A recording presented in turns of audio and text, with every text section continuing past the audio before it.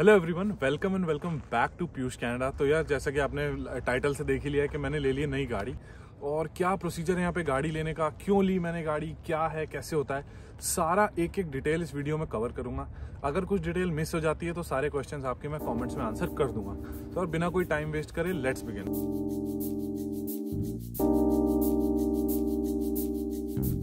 सबसे पहले तो मैंने कौन सी गाड़ी ली है? मैंने 2009 की इलांट्रा ली है। It's not it's not a sedan it's a hatchback तो टूरिंग वर्जन है।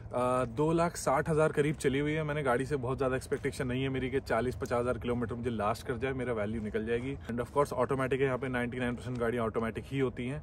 और, अब next how much did I pay for my car इसको कोई सीक्रेट नहीं रखूँगा मैं। मैंने अपनी कार के लिए यार 2500 डॉलर दिए 2500 डॉलर्स मुझे बहुत बढ़िया सस्ती डील मिल गई है।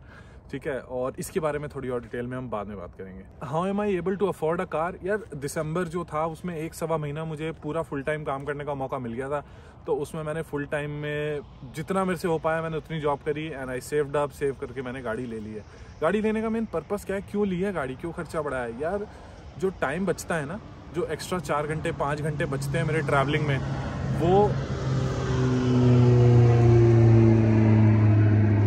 Go ahead, go all good it's all good don't mind us. तो यार बेसिकली गाड़ी लेने का मेरा मेन मोटिव ये था कि जो मेरे एक्स्ट्रा चार से पाँच घंटे बचते हैं ना वो मेरे लिए बहुत वैल्यूएबल है।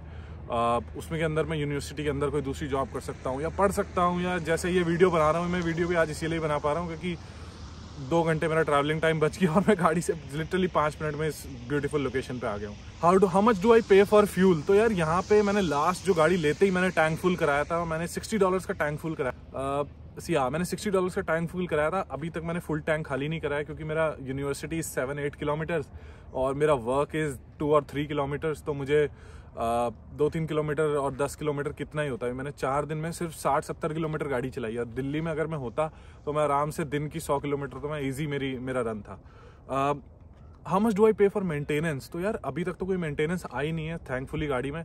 बस मैंने बेसिक एयर फ़िल्टर चेंज और ऑयल चेंज कराया था, जो कि मुझे seventy eighty dollar plus taxes का पड़ गया। कहाँ से कराया था the great Canadian oil change यहाँ पे बहुत सारी कंपनीज़ होती है, वहाँ से मैंने ऑयल चेंज करा लिया था। अब बात करते हैं सबसे मेन बात जो यहाँ पे सबसे महँगी और सबसे ज़्यादा जो मुझे चुभती है दैट इज़ इंश्योरेंस सिंस मैं ब्रिटिश कोलंबिया में हूँ, एक मैं आपको अच्छी चीज़ बताता हूँ। सिंस मैं ब्रिटिश कोलंबिया में हूँ, और मेरे पास इंडियन ड्राइवर्स लाइसेंस है तो ब्रिटिश कोलंबिया में अगर आप स्टडी परमिट पे हो और आपके पास होम कंट्री का लाइसेंस है तो जब तक आप स्टडी परमिट पे हो आप आ, आप ड्राइव कर सकते हो। बिंदास कोई दिक्कत नहीं है आप कैसे भी ड्राइव कर सकते हो। तो इंश्योरेंस सिंस मेरा कनेडियन लाइसेंस नहीं है यहाँ पे क्लास फाइव बोलते हैं जिसको फुल लाइसेंस जो होता है तो सिंस मेरा क्लास फाइव नहीं है तो यार मुझे as a new driver treat किया जा रहा है न्यू ड्राइवर्स की इंश्योरेंस बहुत हाई होती है। तो जो मैं इंश्योरेंस मैंने लिए, मैंने इंश्योरेंस भी थोड़ी अच्छी वाली ली है थ्री मिलियन डॉलर कॉम्प्रीहेंसिव और बहुत सारे उसके अंदर फीचर्स हैं। जब आप खुद आओगे, आप इंश्योरेंस एजेंट के साथ बैठ के, जब आप आईसीबीसी के रिप्रेजेंटेटिव के साथ बैठ के बात करोगे तो आपको समझा देंगे कि किसके अंदर क्या इंक्लूडेड है। तो मेरी इंश्योरेंस में मैं महीने के छः दिन एनी सिक्स डेज़ मैं अपनी गाड़ी को एज अ स्किप करने के लिए या कोई भी बिज़नेस यूज़ के लिए यूज़ कर सकता हूँ। और बाकी टाइम के लिए मेरी गाड़ी स्कूल जाने के लिए मतलब यूनिवर्सिटी जाने के लिए और काम पे जाने के लिए ही है। मेरा जो इंश्योरेंस कॉस्ट है that is two hundred sixty dollars per month जिसके अंदर सिर्फ़ एक ड्राइवर एडेड है that is me new new friends very polite true Canadian dog very sweet उसके बाद how is my experience Canada में राइट साइड में गाड़ी चलाने पे एज कंपेयर टू इंडिया में मैंने सात साल लेफ़्ट साइड पे गाड़ी चलाई है। और यार, मैं मैं ना गाड़ी मैं ना गाड़ी चलाते हुए वीडियो बना कर आपको दिखा नहीं सकता।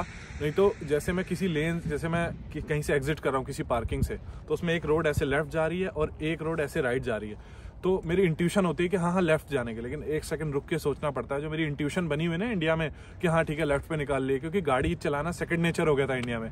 तो यहाँ पे थोड़ा सोच सोच के गाड़ी चलानी पड़ रही है। लगेगा एक हफ़्ता, दो हफ़्ते में थोड़ा यूज़ टू हो जाएगा। अभी तक थैंकफुली मैंने 70 किलोमीटर 80 किलोमीटर गाड़ी चला ली। अभी तक कोई हॉन्ग्स या कुछ मुझे नहीं मिला है। तो यार, एक और मैं आपको बढ़िया चीज़ बताता हूँ कि क्या मैंने ना नई कार लेने का भी ट्राई करा। तो ये ना कैमलूप जहाँ मैं रहता हूँ ना, ये ना छोटा शहर है। अगर मैं रहता होता ब्रैम ट्रेन आ रही है। तो अगर मैं रहता होता ब्रैम्पटन टोरंटो या फिर सरी तो यहाँ पे ना स्टूडेंट्स को फाइनेंसिंग बहुत इजीली दे देते हैं। लेकिन लेकिन जहाँ मैं रहता हूँ ना कैमलूप्स यहाँ पे स्टूडेंट्स को फाइनेंसिंग इतनी इजीली नहीं देते। मैंने कहा, ठीक है ट्राई करते हैं, क्या ही होगा? होंगे, अगर मैं अगर मैं जाता यहाँ पे सरी जाके मैं सेम ट्राई करता गाड़ी लेने की तो ये लोग मुझे तीस, पैंतीस, चालीस हज़ार तक की गाड़ी ईजिली फाइनेंस कर देते। I can afford a new car लेकिन अच्छा हुआ मैंने नहीं लिया। अब मुझे ये सेकेंड हैंड लेने के बाद लगता है कि अच्छा हुआ नहीं ली क्यों बिना बात के खर्चा बढ़ाना? अच्छा मैं आपको एक फनी स्टोरी बताता हूँ। तो जो मैं कार टेस्ट ड्राइव करने जो मतलब जो कार मैं लेने वाला था वो थी किया फोर्टे टॉप मॉडल जीटी तो मैं उसको ले गया टेस्ट ड्राइव पे। सेल्समैन मेरे सा, मेरे साइड में बैठा था। तो हम जा रहे जा रहे हम रोड पे आराम से जा रहे हैं। लेफ़्ट टर्न ले रहे हैं। लेफ़्ट टर्न हमने ले लिया। गाड़ी नॉर्मल चल रही। अपनी जस्ट टर्न लिया ही था। तो 30 40 50 की स्पीड होगी अंडर 50 पीछे से किसी ने घुसेड़ के रियर एंड कर दिया मुझे। ढंग से किसी ने गाड़ी मारी पीछे, और फोर्ड का ट्रक था वो, उसने ढंग से गाड़ी मारी। और जो सेल्समैन था वो कर गया पैनिक मैंने कहा, भाई पैनिक मत हो, उस बंदे को हाथ दे और उसको बोल pull up to the dealership तो डीलरशिप के अंदर हम गए डीलरशिप ने अपने एंड पे जैसे भी मैनेज किया, लेकिन वो नई गाड़ी फ्रेश ऑफ़ द लॉट थी, उसके अंदर ढंग से किसी ने डैमेज कर दिया। और जिसने हमारी गाड़ी मारी थी ना, वो बंदा आते ही सबसे पहले क्या बोलता है कि, यार I am so sorry it it is my fault बहुत ही स्वीट बंदा था। उसने बोला कि, मेरी गलती थी. हार्ड आइस थी. उस पर गाड़ी स्लिप हो गई. I couldn't counter steer plain जा रहा है. उसके बाद विंटर में यहाँ पे गाड़ी चलाने का एक्सपीरियंस कैसा है, ये मैं आपको बताता हूँ। तो यार, जब तक तो ये पाउडर वाली स्नो है, तब तक तो चलाओ आप कोई दिक्कत नहीं। जब तक पाउडर वाली स्नो है कि ऑफकोर्स अब ऐसा टोरंटो में जो टोरंटो में जो स्नो स्टॉम आ गया था वैसा नहीं। लेकिन अगर पाउडर वाली स्नो है गाड़ी चल जाती है। जब आ, स्नो पड़ गई उसके बाद थोड़ी धूप पड़ी उस पर गाड़ियाँ चली जब वो हार्ड आइस बन जाती है ना एकदम एकदम स्लिप होने वाली उस पर गाड़ी चलाना थोड़ा डिफ़िकल्ट होता है टर्न लेते हुए बहुत धीरे धीरे करना पड़ता है। अब जैसे जहाँ मैं रहता हूँ हाईवे पे तो पूरा ट्रक्स क्लीन करते हैं। लेकिन जो हमारी अंदर जो हमारी लेन होती है, जो अपने घर की, घर वाली जो वो होती है जो गली होती है उसको कोई क्लीन नहीं करता। तो उस पर गाड़ियाँ चलती रहती हैं, उस पर हार्ड आइस जम चुकी है और इस तरीके से होता है। तो यार हाँ विंटर टायर्स बहुत ज़रूरी है। जो गाड़ी मैंने ली है, उसके अंदर विंटर टायर्स इंस्टॉल्ड मिले हैं मुझे। ऑफकोर्स इतने सस्ते प्राइस में कोई मुझे समर टायर्स तो नहीं देगा समर टायर्स नहीं है। तो यार, ये वाला स्क्रीनशॉट आप देखो कि गाड़ी मैंने फेसबुक मार्केट प्लेस से ली है। This was the exact screen जो बंदे ने डाला हुआ था। मैंने uh, इसको कॉन्टैक्ट किया उसके बाद नेगोशिएट किया जाके गाड़ी में थोड़ी कमियाँ निकाली कि ये ख़राब है वो ख़राब है। और उसके बाद करके नेगोशिएट करके हमने गाड़ी ले प्लीज़ मुझे इंस्टाग्राम पे फॉलो कर लो। मैंने सबसे यूट्यूब पे वीडियो डालने से पहले इंस्टाग्राम पे अपडेट दे दिया था कि मैंने गाड़ी ले लिया जिन लोगों ने डीएम किया उनको मैंने तुरंत तुरंत बता दिया कि यार इतने के लिए ये लिया वो लिया।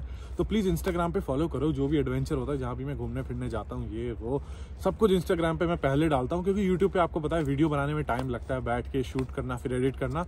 तो यस कमॉन इंस्टाग्राम बातचीत करते हैं जो भी है सारे अपडेट मैं इंस्टाग्राम पे डालता हूँ। कुछ भी आपके क्वेश्चन है, गाड़ी को रिलेटेड कॉमेंट्स में डालो। कुछ भी गाड़ी को रिलेटेड क्वेश्चन है कॉमेंट्स में डालो। मैं गाड़ी रिलेटेड जो भी क्वेश्चन होगा, मैं कॉमेंट्स में आंसर कर दूँगा। Thank you for watching this video bye bye and I will see you in the next video